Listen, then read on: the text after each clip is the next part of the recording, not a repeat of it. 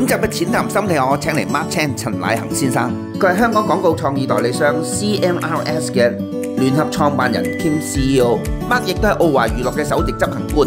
陈乃恒先生会同大家分享数字营销领域嘅发展同埋机遇，年轻人点样装备自己先可以应付未来人工智能对人类嘅挑战？节目内容丰富精彩，请勿错过。